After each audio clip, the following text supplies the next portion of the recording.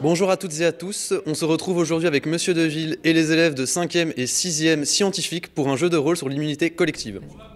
20 élèves vont prendre part à l'expérience. Chacun portera un tablier blanc.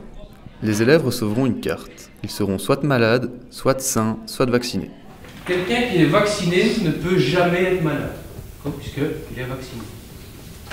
Quelqu'un qui est sain, qui n'est pas malade, peut devenir malade s'il est en contact avec quelqu'un qui est malade.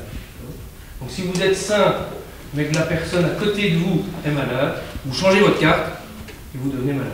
Ça va? Pour tout le monde? Oui. Un par un, les élèves prennent alors place sur un damier.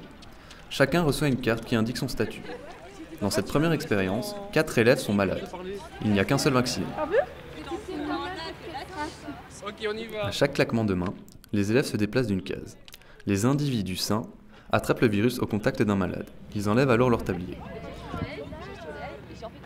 Après cinq tours seulement, toute la population est contaminée. l'immunité collective, ça consiste en quoi?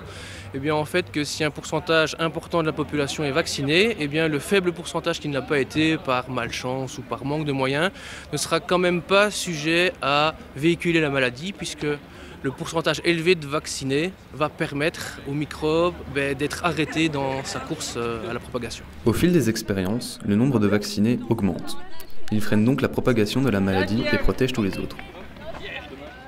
Alors quel est ton ressenti par rapport à cette activité? Ben, C'était bien parce que c'est plus facile d'apprendre euh, comme ça que dans des feuilles, en théorie. Et toi, qu'est-ce que tu en penses? Moi, je pense pareil qu'Ecléa. Et c'est une bonne initiative de la part du professeur. Simple et efficace, les sciences avec Monsieur Deville, c'est presque un jeu d'enfant.